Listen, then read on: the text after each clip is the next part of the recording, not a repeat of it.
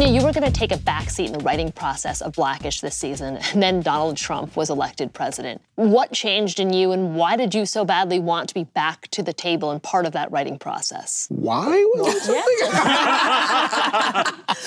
um, it was a combination of things. It was, you know, interesting. It, it was the night watching my kids, you know, and watching my wife. My wife has become obsessed with politics, and I think that, that is there's a, a good, you know, some good that came out of that. But it, watching my kids break down, watching my wife just be like literally distraught, and then, oh, interestingly enough, my writer's room. You know, coming into my writer's room and seeing like us not be able to do work. Mm-hmm. You know, and it went from me being with them to me being sort of angry at them mm. because writers as a room were just we're unbelievably liberal. You know, it's like a, such a, a one one way swinging room that I was like, the things that you're saying to me were almost echoing the other side. And I was like, there's no bridge to this conversation. You know what I'm saying? Like, we're building up for a civil war. Like, there's no bridge to this conversation. You know, millions and millions of people felt differently. We were off in a, a lot of different ways. And so maybe we weren't listening, and maybe they're not listening, and maybe let's try to find a way.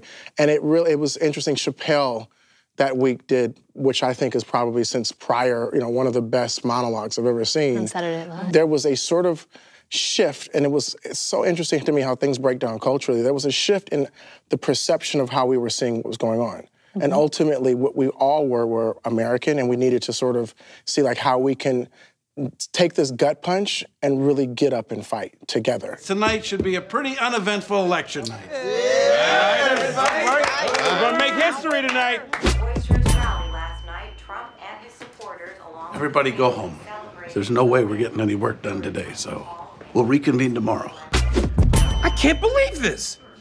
I just read that he may not even live at the White House. What? That is a donkey punch to the back of the head. This day is a wash. We'll start fresh tomorrow. Luckily, they let me write that in a weekend and, and, change the order around. And I don't know, network television never gets the ability to do that. Somehow they let us do it, and the staff and crew and, and studio and everybody let us get it out where it actually landed while it was still in the zeitgeist mm-hmm. enough. And it was one of the best writing experiences for me. Yeah, huh. I've got to say, how fast was that turn? Because because it was, it was I, have it was never like, like Neil Young writing Ohio sort of thing. Like like like we wrote it. In a, I wrote it in a weekend. Luckily, I had a, we didn't get notes. You know what I'm saying? We were at that point. Read it that Monday. Pushed the shooting early shot it. Our post was amazing. We did a three day post turnaround, huh. color corrected. Like it was, it literally happened in two weeks. I, I, I just enjoyed it so much on like not Thanks, only on the man. level of the statement and the discussion, but also from a producing standpoint. Like, when did they mix it? You know, like, like the lowest, most boring level. Yeah, this color time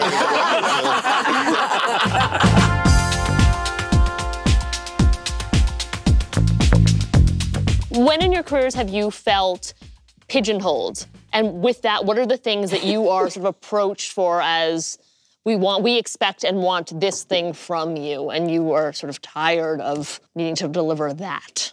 I had on and off, did shows on and off, but I did girlfriends in the game. And then it mm-hmm. was like, you know, other offers would come up, and I was like, I just have to get off a black show. Mm-hmm. And I shouldn't have to think that way.